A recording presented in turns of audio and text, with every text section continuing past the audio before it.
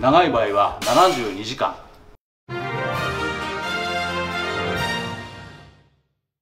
ニックコロナ野郎がいるわけですけれどもあのなぜ手洗いが大事なのか。これをもう一回話をさせていただきたいと思います。新型コロナウイルスどのように感染するのか。飛沫感染そして接触感染という話をしました。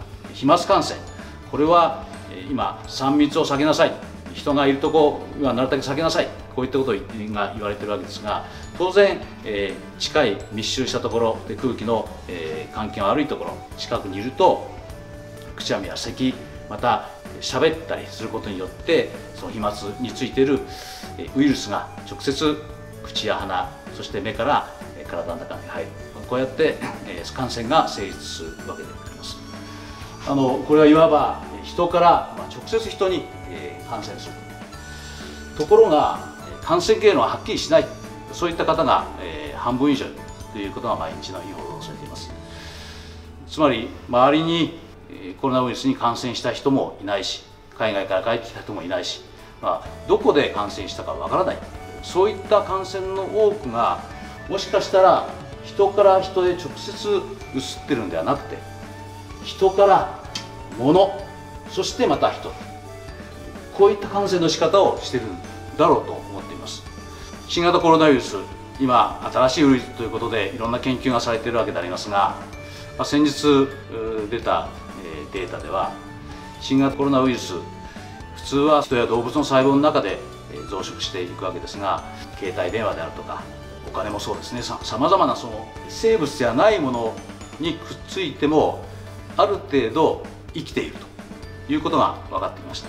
長い場合は72時間、えー、3日間ですね。3日間ウイルスが生きている、まあ、こういったデータもあるということが明らかになってきたわけです、まあ、72時間といっても多くがま死滅して、まあ、一部が残っているということだけなのかもしれませんけれどもしかし、えー、ウイルスによってはそのつくものによって3日間、えー、そこで生きているということが分かってきたわけです。だからこの人から人ではなくて人物人つまり誰かの手に新型コロナウイルスがついている。それを触った取っ手やノブまた追加はこういったものにそれが新型コロナウイルスが残ってそれを触った人の手について。でその手についてるウイルスが顔を触る。口や鼻目からこの体の中に入る。こうやって人から物そしてまた人へと。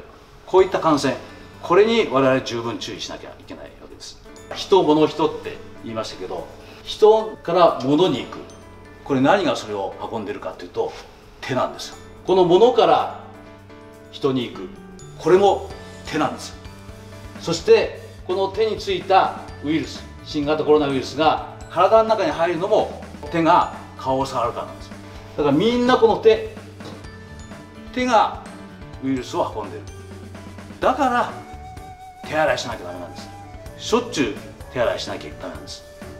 万が一新型コロナウイルスにかかってる。かもしれない。その人もしっかりと手を洗うことによって人から物へウイルスを運ぶということを防ぐことができます。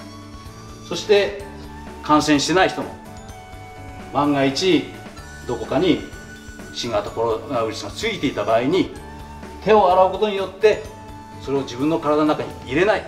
こうやって防ぐことができるわけです。ですから、えー、自分が感染しないためにも手洗い。そして人に新型コロナウイルスをうつさないためにも手洗い。だから手洗いが大事なんです。このことをもう私はもう言い続けようと思います。手洗い手洗い手洗い。手洗いが地球を救うんだ。